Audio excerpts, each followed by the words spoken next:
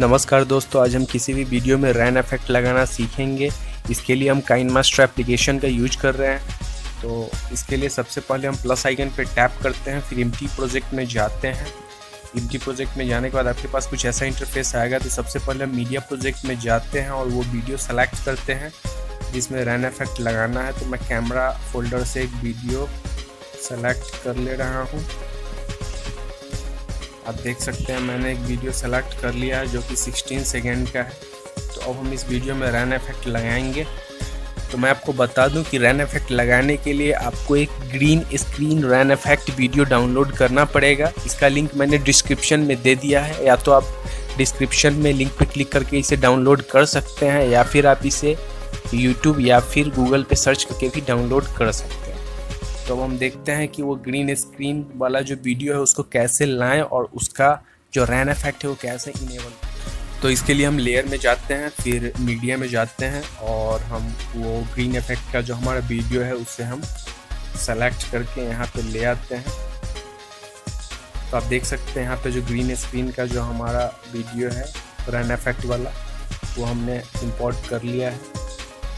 आप देख सकते हैं ये वीडियो आ, बस फाइव सेकेंड का है तो अभी हम पहले इसको इनेबल करेंगे, इसके रैन इफ़ेक्ट को फिर हम देखेंगे कि हमें और भी इसके क्लिप्स की ज़रूरत है फिर से इसे इंपोर्ट करके और मल्टी क्लिप्स इसमें ऐड कर देंगे। जितना लंबा हमारा वीडियो है, उतना लंबा इसको हम बना देंगे।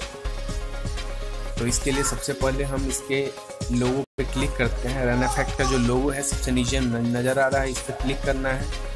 फिर आप यहाँ पे देख सकते हैं, यहाँ पे लेफ़्ट साइड में कुछ ऑप्शंस आ रहे हैं। इसमें हमें क्रोमा की में जाना है। क्रोमा की में जाने के बाद इसको इनेबल कर देना है। इनेबल करने के बाद आप देख सकते हैं यहाँ पे दिख रहा है, ये इनेबल हो चुका है।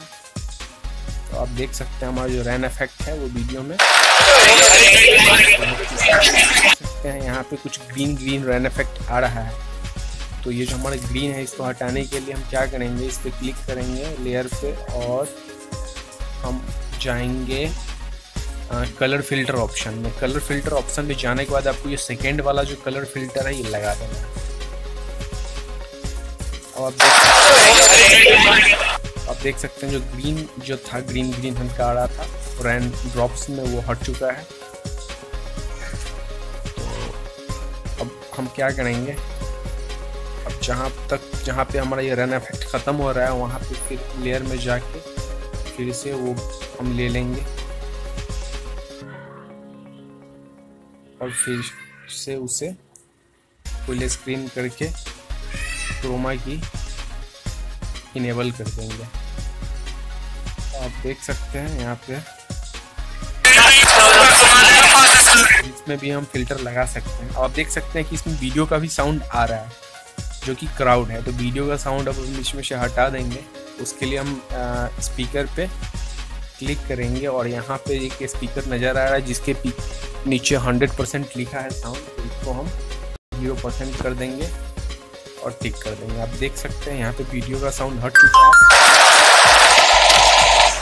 रैन का जो साउंड है वो आ रहा है। आप देख रहे हैं कि ये रैन वाला दोस्तों, आप देख सकते हैं रैन इफ़ेक्ट लगने के बाद हमारा वीडियो कुछ ऐसे चल रहा है। तो दोस्तों, इसी तरह से आपको पूरे वीडियो में रैन इफ़ेक्ट लगा लेना है।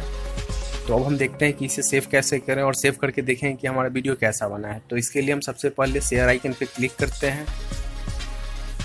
फिर एक्सपोर्ट ऑप्शन में जाते हैं। फिर no thanks with watermark पे क्लिक करते हैं। हमारा प्रोजेक्ट जो है एक्सपोर्ट हो रहा है। दोस्तों, ये थोड़ा सा समय तो लेता ही है। तब तक मैं आपको बता दूँ कि जो हमारा काइन मास्टर का वर्जन है, वो पेड वर्जन है। इस पर एक वाटर मार्क आता है। अगर वाटर मार्क हटाना है तो आपको इसके लिए कुछ पैसे पे करने पड़ते हैं। या फिर आप इसका क्रैक वर्जन भी डाउनलोड कर सकते हैं।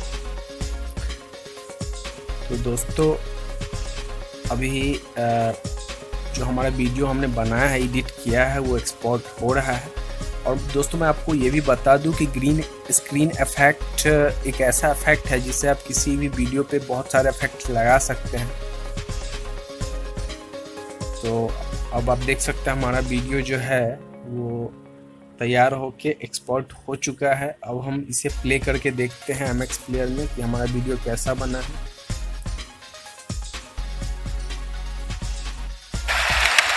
दोस्तों, आप देख सकते हैं यहाँ पे जो रैन इफ़ेक्ट है वो सही से लग गया है।